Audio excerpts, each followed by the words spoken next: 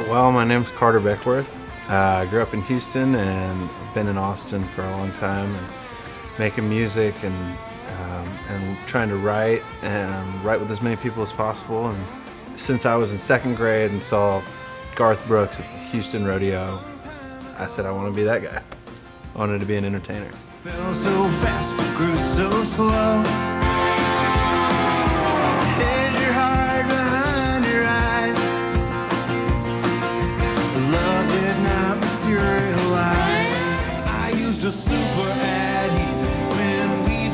The pieces of a humble heart.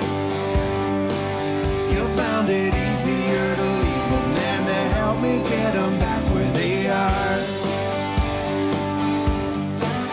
I've got a running nose. Time has proven that for me, the best songs come very fast. Uh, music, lyrics, all at once. Humble Heart was written in probably 20 minutes. It's sort of this feeling that I'm older than my years. It's a lot of it is, has to do with the idea that um, you can't do anything to hurt me. Um, I've got a humble heart when I write a song that that's really personal to me. While somebody might be able to figure out sort of get a general idea of where I was coming from when I wrote that. I hope that they can relate it to something that's going on in their life, whether it be joyful or difficult or sad. And because that's, I feel like that's generally the way that I relate to songs.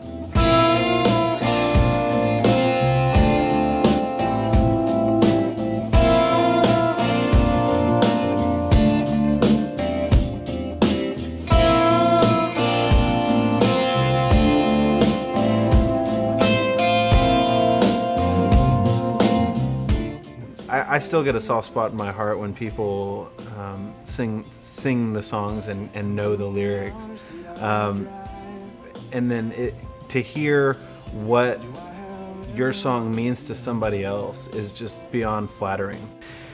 That's probably the most exhilarating feeling in the world.